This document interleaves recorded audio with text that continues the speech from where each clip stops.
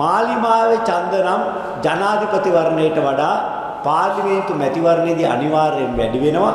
නමුත් විපක්ෂයේ පක්ෂවල ඡන්ද අඩු වෙනවා. විපක්ෂයේ පක්ෂවලට පුළුවන් නම් ජනාධිපති වර්ණයේදී ලබා ගත්තට වඩා එකම එක ඡන්දයක් වැඩියෙන් අරන් පෙන්වන්න කියලා ජනාධිපතිතුමා නොවැම්බර් මාසේ 10 වෙනිදා වවුනියාවේදී අභියෝග කළා. නොවැම්බර් මාසේ 11 වෙනිදා ඊට ප්‍රතිචාර දක්වමින් මම කිව්වා ආණ්ඩුවේ ඡන්දනම් වැඩි වෙන්නේ නැහැ. හැබැයි සර්වජන බලය නම් Tamange ඡන්ද අනිවාර්යෙන් වැඩි කරලා පෙන්වනවා කියලා. මම එහෙම කිව්වේ හේතුවක් ඇතුව. ලංකා ඉතිහාසයේ ජනාධිපතිවරණයක් ආසන්නයේ පාර්ලිමේන්තු මැතිවරණයක් පවත්වන්නේ පස්වෙනි අවස්ථාවට. මීට කලින් මේ පැවැත් වූ අවස්ථාවවලින් ජනාධිපතිවරණයට වඩා පාර්ලිමේන්තු ඡන්දේ ජයග්‍රාහී පක්ෂයේ ඡන්ද වැඩි වුණේ එකම එක අවස්ථාවක් විතරයි ඒ 1989 හැබැයි ඒ වැඩිවීමත් වැඩි වුණේ භීෂණයට මුවා වෙලා හොර ඡන්ද දමා ගැනීමෙන් කියන එක මැතිවරණ කොමසාරිස්වරයාගේ වාර්තාවෙන් සඳහන් වෙනවා.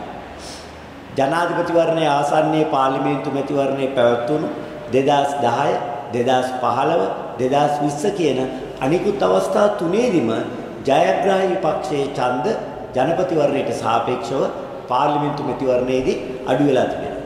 අන්න ඒ ඓතිහාසික කාරණය පදනම් කරගෙන තමයි මම කිව්වේ ජනාධිපතිවරයාට තමන්ගේ ඡන්ද වැඩි කරගන්න බෑ කියලා.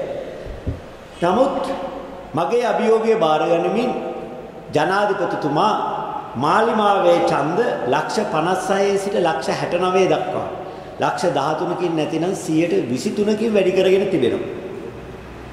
හැබැයි ඒ වැඩි කර ගැනීම එතුමාට අභියෝග කරපු අපි එතුමාටත් වඩා හොඳින් කරලා තියෙනවා.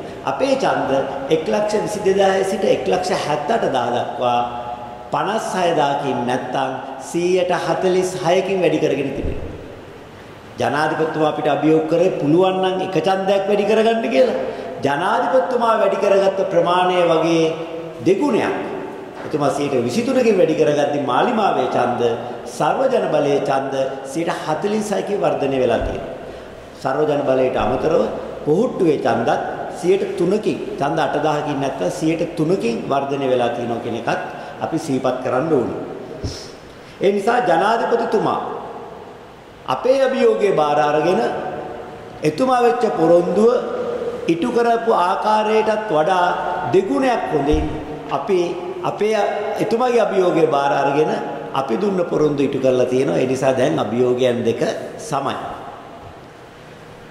ජනාධිපතිතුමා ජනාධිපති ධූරයට පත්වීමෙන් පසු කළ පළවෙනි කතාවේ එතුමා කිව්වා මම ඉන්ද්‍රජාලකයෙකු නොවෙමි කියලා. ඉන්ද්‍රජාලකයා කියන්නේ සාමාන්‍යයෙන් කළ නොහැකියි විශ්වාස කරන දේවල් කරලා පෙන්වන පුද්ගලයාට.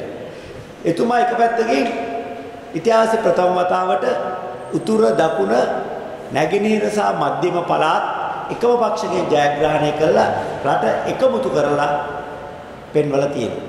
අනිත් පැත්තෙන් ජනාධිපතිවරණයේ ආසන්නයේ තිබුණු පාර්ලිමේන්තු මැතිවරණයේදී ජනාධිපතිවරණයේ ඉතිහාසයේ ප්‍රථම වතාවට ජනාධිපතිවරණයට වඩා වැඩියෙන් පාර්ලිමේන්තු ඡන්දයේදී ඡන්ද අරගෙන පෙන්වා තිබෙනවා.